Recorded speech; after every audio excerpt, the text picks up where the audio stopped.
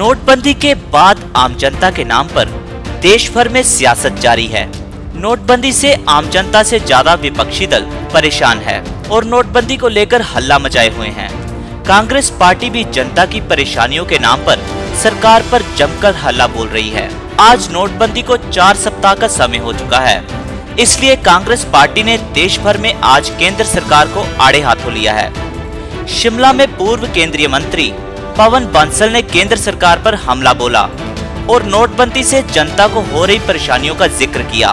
पवन बंसल ने केंद्र सरकार पर आरोप लगाया है कि जब से प्रधानमंत्री नरेंद्र मोदी ने 500 व हज़ार के नोट पर पाबंदी लगाई है, उसी दिन से देश की जनता कतारों में लगी हुई है, पर बैंक एवं एटीएम खाली पड़े हैं। उनका कहना है कि सरकार ने बिना पूर्व तैयारी के नोटबंदी करने की घोषणा कर दी, जिस कारण देश की जनता परेशान है। केंद्र सरकार कह रही है कि इससे भ्रष्टाचार एवं आतंकवाद का खात्मा होगा और देश की आर्थिक स्थिति सही होगी, जबकि यह अभी तक गलत सिद्ध हुआ है। उनका कहना है कि कैशलेस का जो भ्रम केंद्र सरकार फैला रही है, वह भारत जैसे ग्रामीण देश में इतना जल्द संभव नहीं है।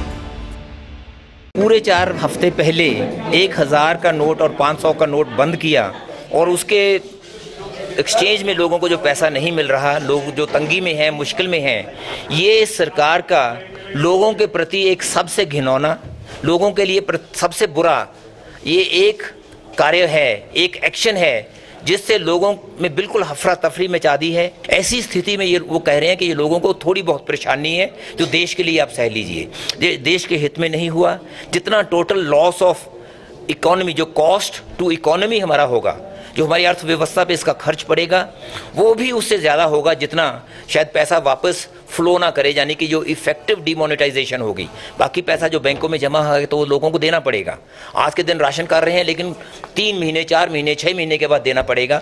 लेकिन उतने समय में जो हमारा नुकसान हो जाएगा देश का, वो एक परसेंट जी एक कंजर्वेटिव एस्टीमेट है, कम से कम उतना नुकसान हो जाएगा। वो डेढ़ लाख करोड़ रुपए से ऊपर तो नुकसान होगा। प्रधानमंत्री तो उसके बाद पचास दिन के बाद कह रहे थे कि एक महीना का और लगेगा, लेकिन अरुण जेटली जी जो वित्त मंत्री हैं, उन्होंने कह दिया तीन महीने और लगेगा।